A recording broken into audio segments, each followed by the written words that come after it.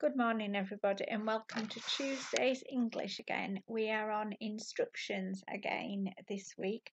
So let's just take a recap of what we have to do when we write instructions.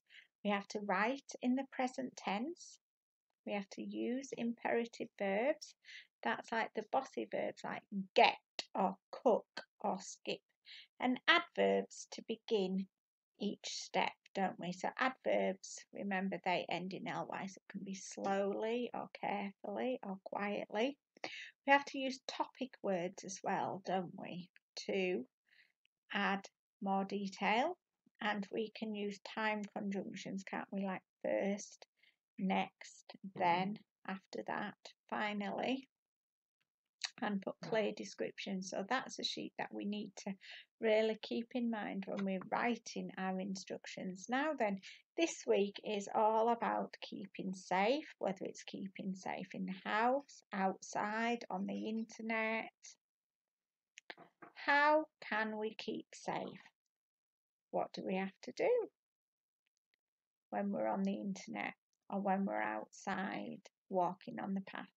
Strangers, we're going to think about that too, and about school.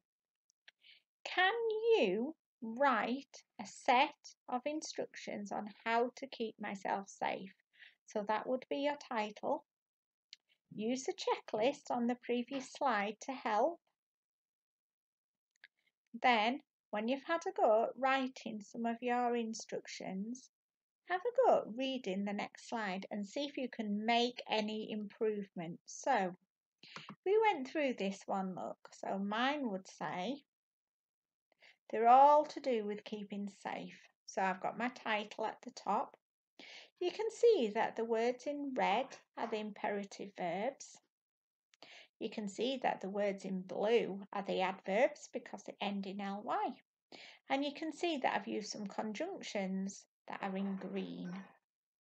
So the first one says stop at the side of the road and I put before you cross any road because you have to look, don't you? And I put if you are crossing the, I put cross the road carefully and slowly, but keep looking and listening for any traffic. So that's about using adverbs there, and I've used the conjunction, but of course you've got to keep looking and listening. And then number three, never, that's quite a powerful one, isn't it? Never get into a stranger's car. Number four, I've used the conjunction or ring or shout loudly for help if needed. Now, this is about if you're on the internet, okay? Because you have to, your mums and dads have to make sure that you're safe on the internet too. So don't play games that are too old for you on the computer. You know, always age appropriate. And this is maybe, you, you know, when you're a little bit old, but never, again, I've used that word, never meet a friend online without telling an adult. Okay, that's quite important, isn't it?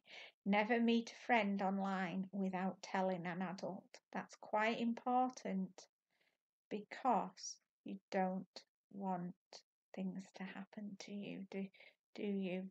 And it's always important to tell your parents what you're doing on the internet. So, I want you to use my checklist when you're writing your own set of instructions on how to keep safe. And then go back to mine, check to see if you've done yours and if you can add any. And remember, I would like to see them because I'm looking to give some awards for amazing writing from Mrs. Prince.